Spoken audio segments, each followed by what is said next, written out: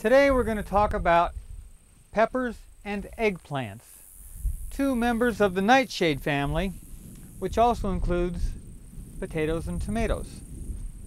I've never had much luck with eggplants, but gardening continually offers surprises, and this crop of eggplants is one of them. Around the 1st of April, we prepare our cold frames.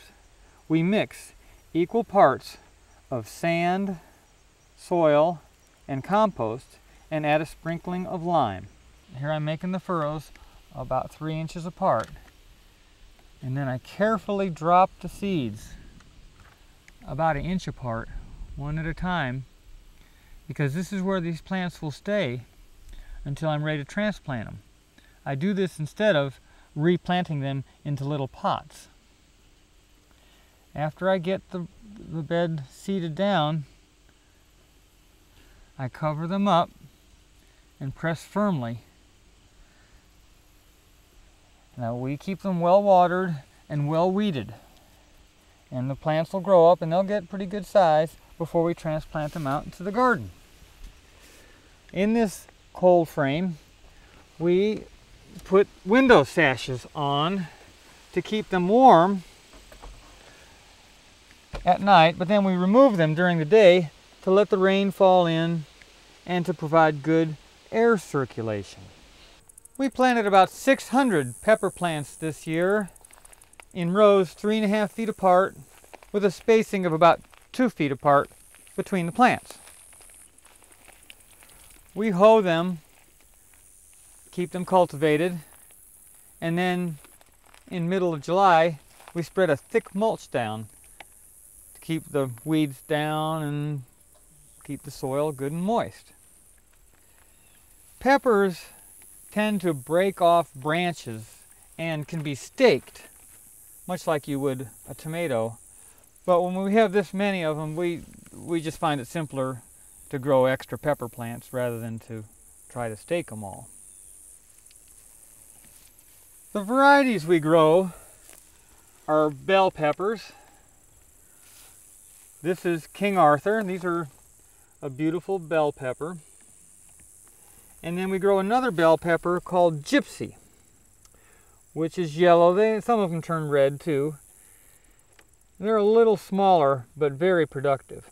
Our specialty is Italian peppers, Corno di Toros, which means horn of the bull. We like the bullhorn peppers because they're not hot, but they do have a zing. They're tastier than a regular sweet bell pepper. This variety is called Carmen, and it turns to a beautiful red color after, after being green. The first bullhorn type pepper I grew is called Italia. Here's a basket of them, but they don't seem to produce quite as well as the Carmen. Poppen's pickled pepper pickers have picked peck after peck of prolific peppers here.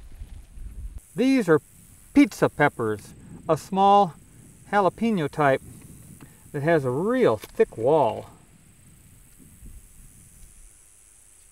Very flavorful, and although a little bit smaller, each plant really puts out a lot of them. Banana peppers come in two varieties, a hot one and a sweet one. They're real popular and are often pickled. Peppers love to grow up on a hill where there's full sun from morning till evening and they also love the heat but not as much as their tropical cousins the eggplants who really thrive in hot weather. I filled up my rows with peppers and discovered later that I had forgotten about the eggplants. One day in late June, I dug them up and put them in a basket as I was heading up the hill. I found a spot for them next to the watermelon patch, set them out, and forgot about them again. Eggplants often get eaten by the flea beetles, and I wasn't too hopeful. but something worked. Intuition plays a large part in gardening. You can read about what the experts say, but I say trust your intuition. I don't know how, but somehow I found a great spot for the eggplant patch. Planting late, even though accidental, apparently helped this year as the flea beetles weren't so bad and the crop thrived. Gardening intuition can be developed many different ways. We put up a lot of hay, feed it to our cows during the winter, and make great biodynamic compost where they've eaten at. This not only helps our soils, I guess it helps me too. Being in the garden and eating out of it keeps attention focused and intentions clear. This variety is called Orient Express. I ordered it from the catalog because it said it was early, easy to grow, and tender and flavorful. It's a skinnier variety than the common Black Beauty, which is actually a, wider eggplant. Look at these passionate purple fruits. I really don't know what to do with them, but good ideas come to mind. Last night, I sauteed it up with tomatoes and onions and garlic and stuffed peppers with them. Boy, it was good. There's many Mideastern dishes that use eggplants, and of course there's eggplant parmesan. When you're gardening, don't be afraid to try something new or old, as I've tried growing eggplants rather unsuccessfully for over 30 years. Build your soil up with organic matter and surprises will happen.